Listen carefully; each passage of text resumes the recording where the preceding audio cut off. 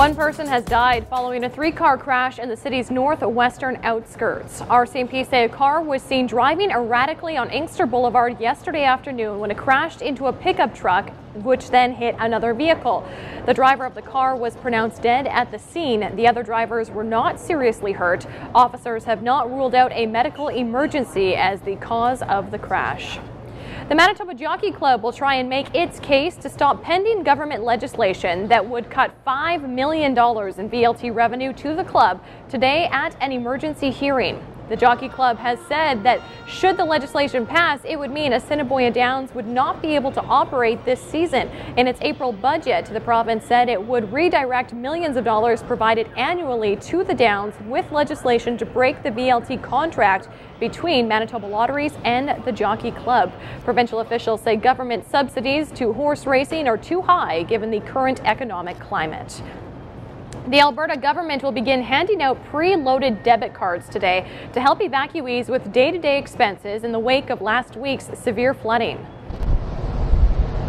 The first evacuees to get the cash cards will be the 13,000 residents of hard-hit High River, a town still deemed a disaster zone and without most utilities. Some residents are furious after hearing it could still be days before their town is deemed safe enough for residents to return home.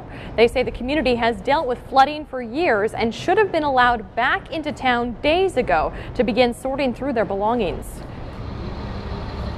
Meanwhile, the Trans-Canada Highway west of Calgary has reopened to the public for the first time since severe flooding forced its closure one week ago today. One lane is open in each direction, though speed limits have been reduced to 60 kilometers an hour. There were day-long celebrations in California after the U.S. Supreme Court's ruling settled a five-year battle against the state's ban on same-sex marriage. What do we have? Equality! When did we get it? The ruling means gay couples can start picking up wedding licenses in three weeks. More celebrations were held over a second ruling by the court that overturned a key provision of the Defense of Marriage Act, denying federal benefits to same-sex couples. Opposition leader Brian Pallister is accusing the NDP government of trying to stop a media outlet from running a story on the pending PST increase. Pallister says a NDP communicator contacted a radio station in Swan River trying to kill a story by saying the taxation department official who did the interview with the station was an imposter. They are the eyes and the ears of the people. And no democratic government has the right uh, to attempt to muzzle uh, the media. The matter was resolved when Cabinet Communications determined that the interview was conducted with the proper official. The PST is set to go up to 8% from 7 on Monday. Tonight's the night many Blue Bomber fans have been waiting for, the first regular season home game at Investors Group Field.